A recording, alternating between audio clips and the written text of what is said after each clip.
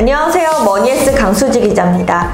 오늘은 취득세 중과 규제를 피하려고 지방 1억 미만 아파트에 갭 투자가 몰리는 상황에 대해서 이야기를 나눠보려고 합니다. 방금 말씀드린 것처럼 취득세 중과 규제를 피해서 투자 수요가 몰리면서 지방 중소도시 공시가격 1억 원 미만 아파트에 갭 투자가 쏠리고 있습니다. 거의 무갭 투자라고 봐도 무방한 경우가 많은데요. 국토교통부 실거래가 공개 시스템에 따르면 경남 창원시 성산구 성원아파트는 지난해 6월부터 지난달까지 812건이 거래가 됐습니다. 이 가운데 전세를 끼고 집을 매매한 갭 투자가 195건이었습니다. 이는 같은 기간 전국에서 가장 많은 갭 투자였는데요. 어, 성원 아파트가 어떤 아파트이고 최근 매매가와 전세가가 어떤 양상을 보였는지 설명 부탁드리겠습니다. 네, 아까 말씀하신 그 성산구 상남동에 위치한 성원 아파트는요. 아, 1994년에 준공이 되어 있습니다. 그래서 투자로 봤을 때는 뭐 여러 가지 요소들을 담고 있어야 될 것 같은데 어, 우선 42개 동에 6,252가구 그러니까 초대형 단지로 어, 되어 있고요. 또 최근 들어서 리모델링 사업을 추진을 하고 있습니다. 그러니까 예, 가격을 올릴 수 있는 여러 호재로 작용을 한 것으로 보여지는데요. 이런 그 단지 구성이 잘 되어 있기 때문에 뭐 기본적으로는 뭐 편의 시설을 누릴 수 있는 주변 환경들이 잘 갖춰 있는 것으로 판단이 돼요. 왜냐하면 전세가율이 최근에 100% 가깝게 육박이 되어 있고요. 심지어 일부 거래 같은 경우는 전세 가격이 매매값을 뛰어 넘는 어, 그런 뭐 가격까지도 형성이 되어 있다라는 겁니다. 아, 사례를 보니까 105동 전, 전용 84제곱미터는 지난달에 매매 가격이 3억 2천만 원, 6층이 되겠는데요. 거래가 됐습니다. 근데 한 달 후에 지난 10일이 되겠는데요. 예, 3억 3천만 원으로 거래가 체결이 되었는데 이게 아, 매매 가격이 아니라 전세 가격이라는 게 아, 눈에 띄죠. 그러니까 매매 가격이 전세 가격을 뛰어넘었기 때문에 우리 흔히 말하는 어, 갭 투자가 아, 다수 일어날 수 있는 그런 단지라고 평가를 해볼 수가 있겠습니다. 네, 그렇군요.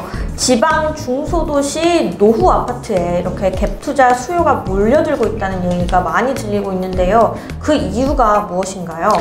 네, 저도 그렇고 강수지 기자님 기사 내용들을 보고 어, 업계 얘기를 전체로 들어보니까요.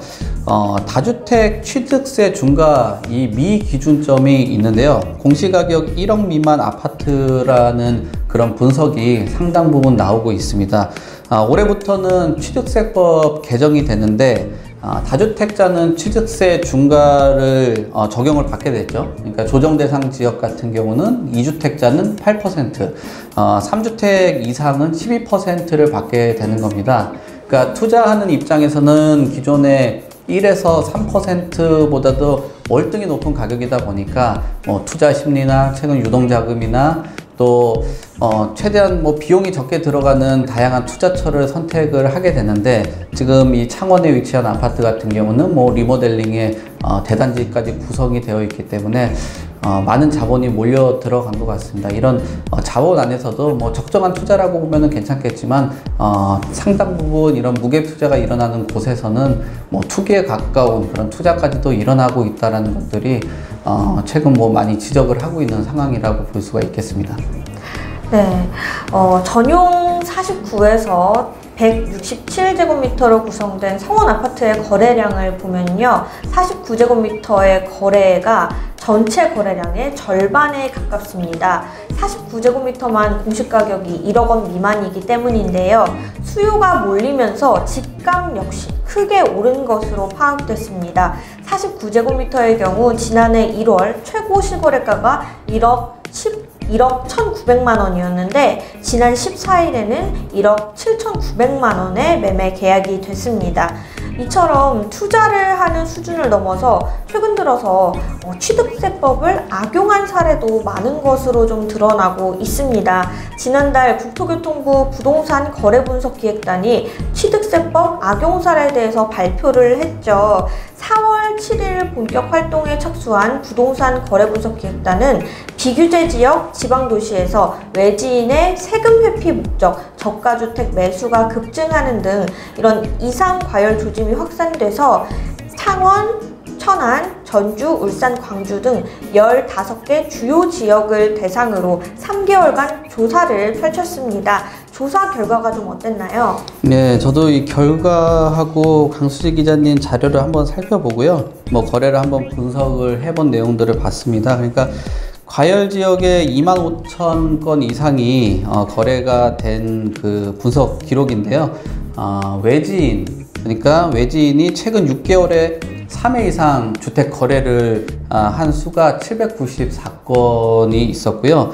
또 최근 그 자금 조달이 어려운 그 미성년자 같은 경우는 주택 매수가 14건 이상으로 어, 거래가 확인이 되었습니다. 그래서 어, 이 다양한 그런 문제점들이 있는 거래 내용 어, 1228건을 어, 확인해서 조사에 착수를 한 것으로 보여지고요.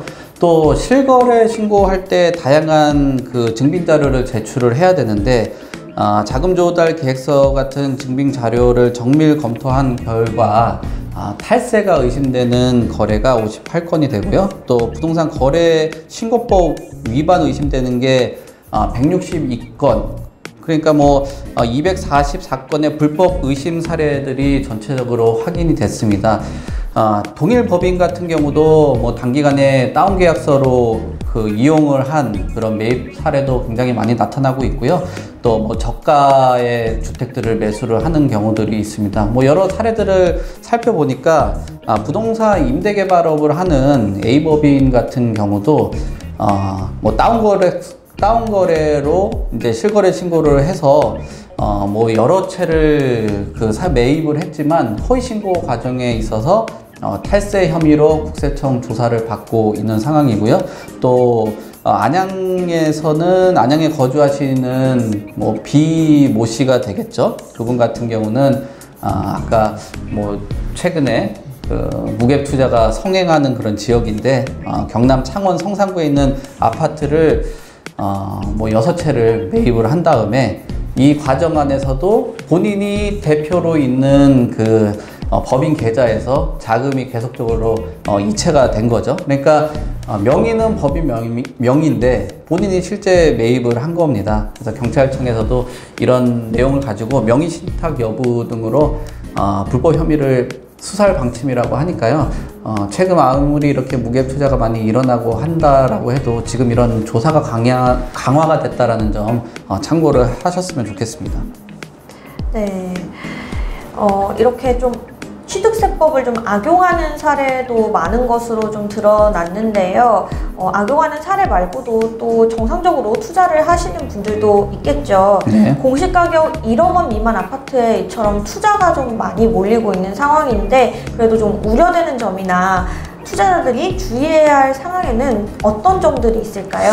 지금 말씀하신 것처럼 취득세법에 개정된다고 해서 이 취득세라는 그 내용만 계속 어, 뭐 focusing이 맞춰져 있는 것 같아요. 사실 그 취득세하고 다르게 어, 양도세라든지 종부세 같은 경우는 공시가격 1억 아파트하고는 전혀 상관이 없는 없다라는 거 어, 참고를 하셔야 될 것 같고요. 그러니까 아, 주택수에 포함된다라고 보셔야 돼요. 그러면 세금 부담이 클 수 있다라는 점 어, 유의 깊게 어, 고민을 해 보셔야 되는 거고요.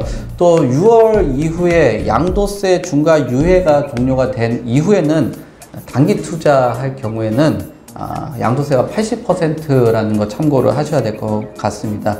그러니까 취득세 조금 아끼시려다가 이 양도세나 종부세 어, 심한 말로 폭탄 맞을 수 있다라는 거 참고를 하셔야 될 것 같고요.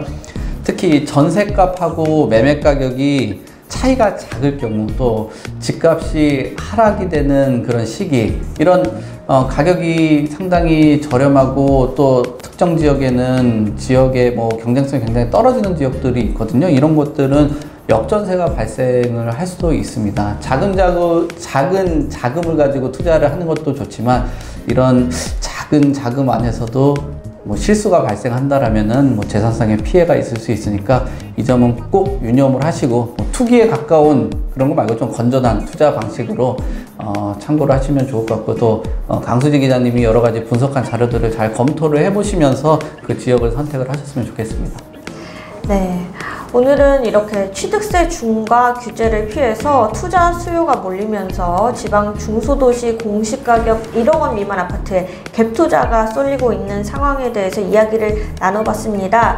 송 대표님께서는 취득세 조금 아끼려다 양도세, 종부세가 많이 부과될 수 있다는 점, 그리고 전세값과 매매 가격 차이가 작아서 어, 집값 하락기에는 역전세도 발생할 수 있다는 점 등 우려되는 부분들을 짚어주셨습니다. 네, 오늘도 우리 구독자분들에게 좋은 정보가 됐기를 바라면서요. 오늘 준비한 내용 이렇게 마무리해 보도록 하겠습니다. 저희는 또 유익한 부동산 정보로 다시 돌아오겠습니다. 고맙습니다. 알찬 분양 정보를 확실하게 분석한다. 분양 올림픽. 한발 앞서 이슈를 말한다. 부동산 이슈 and 브리핑.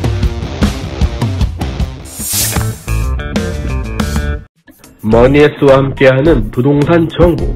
머니앤더시티. 누구나가 될수 있는 건축주만의 프로젝트. 건축주 프로젝트 세미나. 쇼미더 고민!